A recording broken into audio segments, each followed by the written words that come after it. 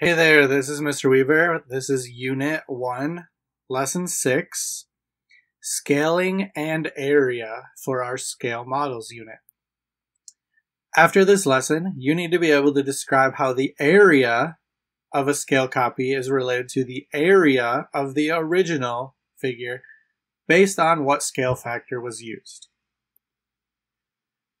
You'll know you're successful if after this lesson you can compare the areas of the original figure and the scale copy, and you can relate that scale factor to the change in its area.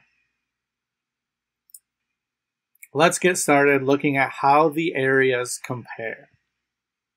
So here we have a rectangle. It's 2 tall, it's 4 wide let's say we multiply by a scale factor of 2. So now our figure is 4 tall and 8 wide. We're going to look at the areas. So our original area, it was 2 squares by 4 squares, so it is 8 units total, 8 square units. Well, let's compare that to the area of our scale copy. It was 4 by 8, so it is 32 square units. Well, it was 8, now it's 32. That's 4 times larger. So each side was multiplied by a scale factor of 2, but the area becomes 4 times larger. Next, let's look what happens to the area if our scale factor is less than 1.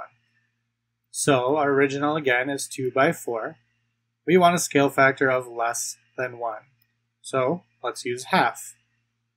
2 times the scale factor of half would give us a 1 unit tall figure.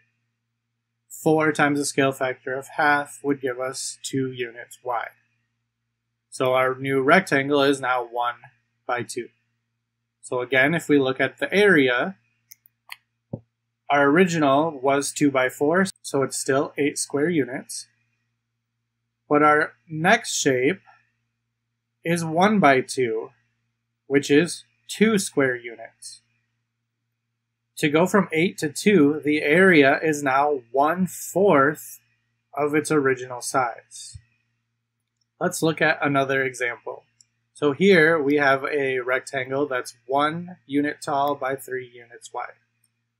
Let's choose a scale factor of 3 so it's larger.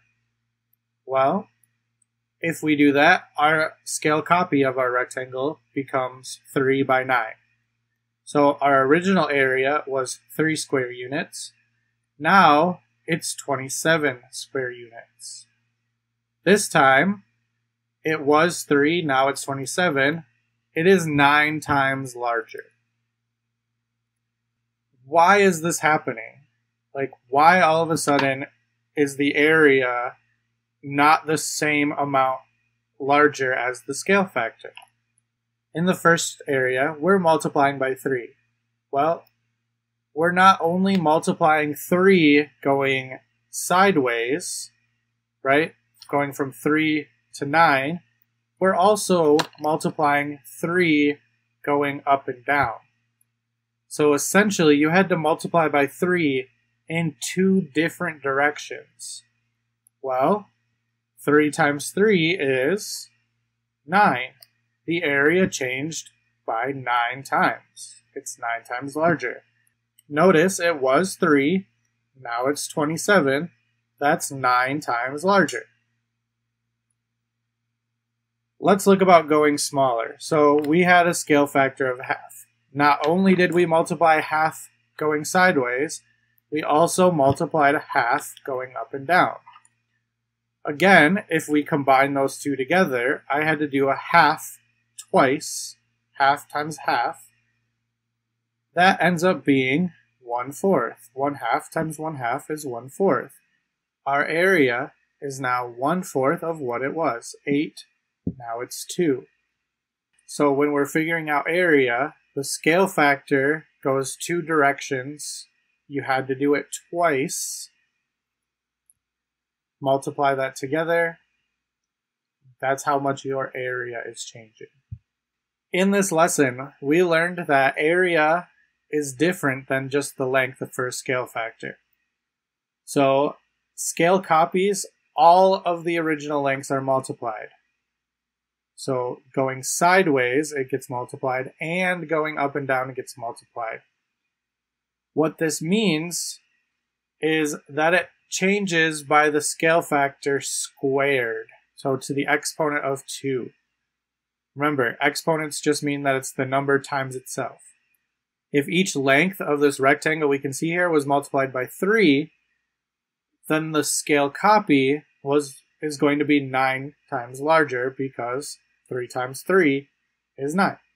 If we wanted to verify, we could see the original rectangle has an area of 8 units and our scale copy has an area of 72 units. Well, 8 times 9 is 72. It's 9 times larger, even though the scale factor was 3. We learned this was happening because lengths are one-dimensional. They only change by the scale factor once. While area is two-dimensional, so it's going to change by that scale factor twice. The scale factor times the scale factor. After this lesson, do you know how to determine and explain how the area of a scale copy relates and compares to the area of our original figure? And that's it for lesson six with scaling and area.